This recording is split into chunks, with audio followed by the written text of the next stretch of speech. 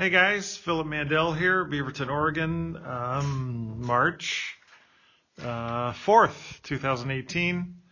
Uh, a little over two weeks since activation. I was activated February 16th um, after um, in my cochlear implant on the left ear, this one here.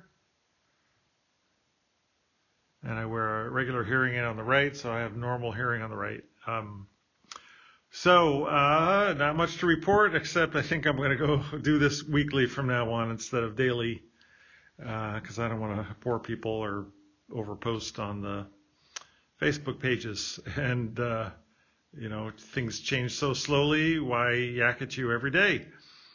Um, so, yeah, very little to report. Uh, I did do the Angel Sound uh, program earlier this evening. Um, so uh, I guess I could report that I have a little better word recognition than I did uh, whenever I did it last, which was probably a week ago.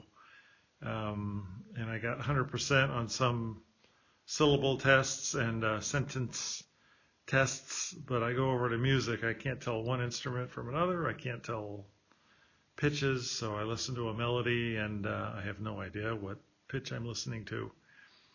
Um, but uh, when I stream from the iPhone, I still, excuse me, only have limited word recognition. Depends who's speaking um, and how quiet the environment is. So, uh, but I don't hear any inflections. Anyway, none of that has changed uh, much yet.